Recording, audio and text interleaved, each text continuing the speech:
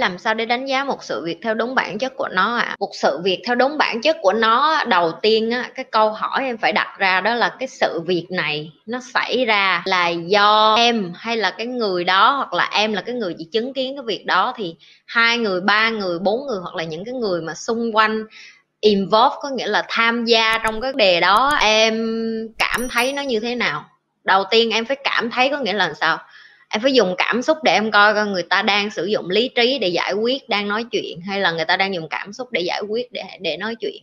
Nếu người ta dùng cảm xúc để giải quyết để nói chuyện thì những cái điều đó nó không có valid, có nghĩa là nó không có đáng giá để mà em định vị.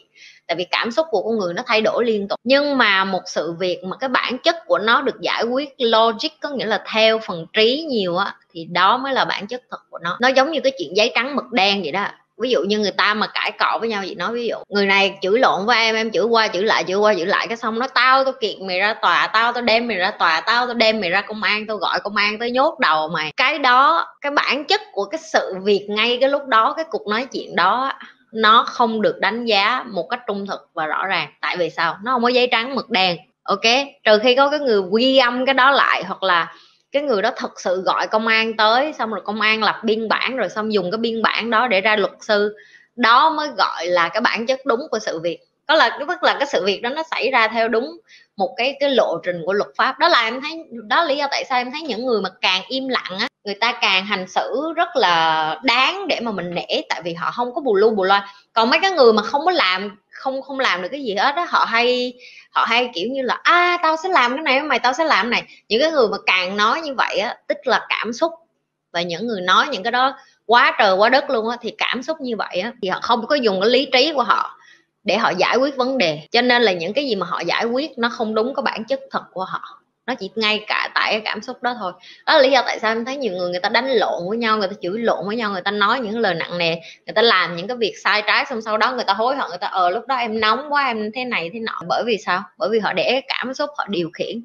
Cho nên cái sự việc nào cũng vậy hết miễn là có con người tham gia vô thì em phải kiểm tra coi những cái người mà tham gia trong cái, cái sự việc đó người ta có cảm xúc hay không hay người ta dùng lý trí người ta để người ta giải quyết ok? Đó là cách em đánh giá một sự việc, một con người, một cái hoàn cảnh, một cái vấn đề, một cái câu chuyện, một cái cuộc thương lượng, một cái cuộc hội thảo, một cái cuộc cãi vã, một cái cuộc nói chuyện một cái cuộc giao tiếp bất cứ thứ gì miễn có liên quan vừa con người vừa vật chất vừa tất cả mọi thứ đi vô thì em phải phải phải định định vị được nó như vậy. Là nó có giấy trắng mực đen hay không hay là người ta cứ nói nó nói, nói vậy. em hay nói theo cảm xúc đó cô giáo đôi khi em kiểm soát được đôi khi em lại không.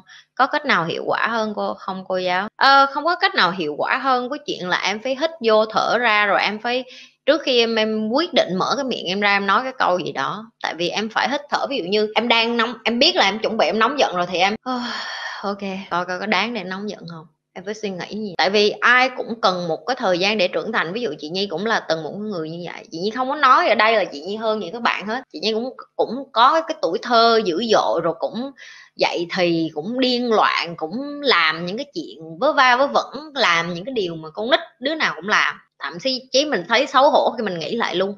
Nhưng mà mình sẽ không có thể nào trốn tránh được bởi vì mình là con người. Và con người thì phải học những cái điều đó bằng cái trải nghiệm. Không có ai học cái gì mà không bằng trải nghiệm hết. Lửa nó đốt em thì em mới biết lửa nó nóng thì lần sau em mới không có chơi với lửa nữa. Thì cũng tương tự như vậy em em em trong cuộc đời em em phải, nhưng mà cái thất bại của nhiều người đó là họ còn không có biết là có cái từ cảm xúc luôn. Có nghĩa là họ không có hiểu tại sao họ hành xử như vậy luôn. Họ nói là à tại con đó, cho nên tôi mới nổi điên như vậy. Tại thằng này tôi mới nổi điên như vậy. Không có. Không có ai xung quanh bạn có thể làm cho bạn bị nổi điên lên được hết. Bạn nổi điên hay là bạn không có hạnh phúc hay bạn không có vui vẻ hay bạn dễ dàng tức giận là bên trong bạn cho nên là nhi mới nói với mọi người là mọi người phải thiền là vậy. Mọi người phải thiền định người phải hít thở, mọi người phải làm những cái điều mà gọi như là bên trong của mình nhiều hơn. Hằng ngày có có ai mà tập kiểu như nhi làm không? Nhi hỏi mọi người nè. Thức dậy đặt câu hỏi là, ủa, tại sao mình ở trên thế gian này vậy? Tại sao mình đẻ ra thế giới này vậy? Tại sao trên thế gian này có nhiều người quá vậy? Mà sao ai cũng khác nhau quá vậy? Rồi mỗi người thật ra đang làm cái gì trên thế giới này? Rồi mình mình góp công, góp sức được gì trên thế giới này. Rồi mình có thật sự cần thiết ở trên thế giới này không? Rồi nếu như không có mình á, thế giới này có ổn không? Rồi mình có thật sự quan trọng như vậy không? Còn nếu như ngày mai mình biến mất thì thế giới này như thế nào? Đặt, mọi người có thấy cách như đặt câu hỏi không? Như đặt câu hỏi rất là lớn, rất là bự, rất là rộng và ngày nào như cũng hỏi đi hỏi lại những cái câu đó hết. Bởi vì sao? Bởi vì não của bạn nó rất là mắc cười. Khi mà bạn có câu trả lời á não của bạn nó sẽ dừng hoạt động. Nhưng mà khi bạn đặt câu hỏi hàng ngày á, não của bạn nó sẽ hoạt động liên tục để mà tìm cái câu trả lời cho bạn. Đó là lý do tại sao nhi bắt ép mọi người như dùng từ bắt ép luôn á. Nhi bắt ép mọi người đặt câu hỏi cho nhi. Tại vì khi bạn đặt câu hỏi cho nhi, có phải là ngay lập tức cái đầu bạn cũng đang suy nghĩ để tìm câu trả lời. Và những cái bạn nghe cái câu hỏi đó, các bạn cũng ngay lập tức các bạn tìm câu trả lời. Các bạn nói ờ ha, câu này hay quá ha, làm sao để tìm câu trả lời này ta? Ví dụ như vậy. Hôm nay đi cà phê em có nhận được cái ví và sau đó em đưa cho nhân viên quán khi về em suy nghĩ là không biết có người nhận được cái ví không nhân viên quán nó có đưa cho không? Em không hiểu em luôn. À, em không cần phải hiểu em đâu em tại vì em đang sống ở Việt Nam á cái tư duy của em vẫn còn cái chuyện là em không tin được chính con người ở đất nước của em. Chị nói ví dụ như ở sinh chị có quăng quật đồ của chị rớt thậm chí hả chị còn nhớ có một lần chị đi không phải một lần mà nhiều lần chị đi taxi mà người ta cái người mình ngồi trước chị rớt điện thoại bên trong xe taxi của chị xong rồi gọi cái xong chị nói à, chú taxi ơi điện thoại có người rớt này. Cái ông nói ủa ai rớt vậy ta? Cái xong chị và ổng đi trên đường ngồi đợi vậy đó. Cái xong người ta gọi lại cái người ta hỏi ủa um, hồi nãy tôi thả ông khúc nào mà ông rớt điện thoại xong nói chuyện bình thường cái ông nói ok giờ tôi thả khách này xong tôi dòng lại tôi đưa cho ông nha. Vậy thôi đó. Không có hỏi là à đi dòng lại bao nhiêu tiền chú ơi con trả tiền cước cho chú chú đem ngược lại điện thoại không có và lần nào chị đi taxi cũng vậy hết. Đó là taxi thôi nha, chị chưa kể tới hả? Mỗi lần mà em đi ăn đồ vỉa hè bên này, em thấy người ta để nguyên laptop trên bàn vậy, người ta để ly cà phê, người ta đi toilet, người ta đi vô lại vẫn còn nguyên. Bên này người ta sống một cái cuộc đời mà kiểu như là điện thoại, máy tính, bóp tiền, những cái thứ đó nó rẻ rúng quá và không có ai muốn lấy luôn. Tại vì nó là cái thứ tầm thường quá. Điện thoại chị cũng có hai cái máy tính, laptop gì cũng có hai cái, ipad gì cũng có ba cái. Ở trong nhà có nghĩa là em sống ở một đất nước khi mà những cái thứ này nó không phải là cái điều làm cho em tham nữa. Và cái xã hội nó an ninh quá, thì em sẽ không có cái tư tưởng này. Đơn giản vậy thôi. Em vẫn còn cái tư tưởng này chỉ bởi vì đơn giản là em vẫn còn ở trong cái môi trường mà em không có cái sự chọn lựa là em phải suy nghĩ khá hơn về cái điều đó. Cái điều duy nhất chị có thể khuyên em đó là nếu như em suy nghĩ đó em hãy là một cái ví dụ đầu tiên để sống để chứng minh với những người khác là em không giống những người khác. Tức là em có cái ví đó, dù em có có, em cũng sẽ trả lại vậy thôi.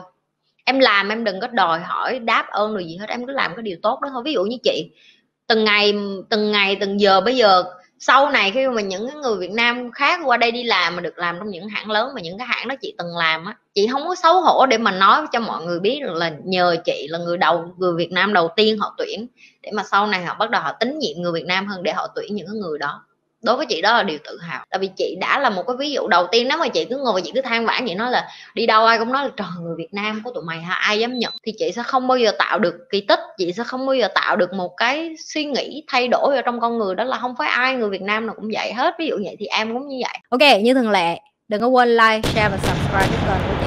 Chị sẽ quay trở lại với các bạn.